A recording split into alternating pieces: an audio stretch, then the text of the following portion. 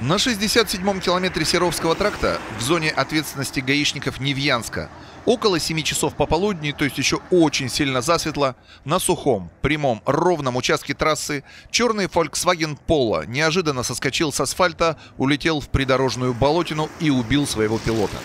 Декорация такая – ФАУВ катился из Екатеринбурга, конкретно из Демидовского аэропорта Кольцова, в ядерный зато Новоуральск, сокрытый за колючим забором.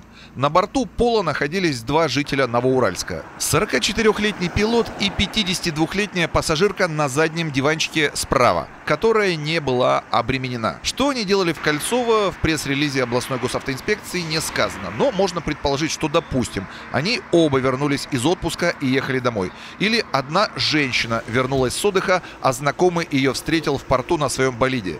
В общем, ехали в свой родной Новоуральск.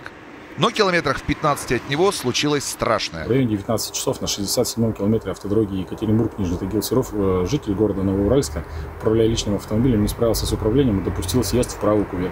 В результате ДТП он получил травмы, несовместимые с жизнью, и скончался до приезда скорой помощи. В машине у него находилась пассажирка, которая доставлена в ЦРБ города Невьянска для оказания помощи. В Невьянской клинике пассажирки Пола врачи надиагностировали перелом руки и синяки на лице. А все потому, что ехала на расслабончике, без ремня. Это ей еще повезло, что она сидела сзади. Была бы на месте смертника, могла бы убиться как пилот. И никакого ковида. Кстати, гаишники выписали выжившей пассажирке административку по 12.29 КОАП за несоблюдение ПДД пассажирам ТСа. Ну, читай, за ремень. Убедительная просьба для водителей и пассажиров транспортных средств. Соблюдайте скоростной режим и пристегивайтесь ремнями безопасности.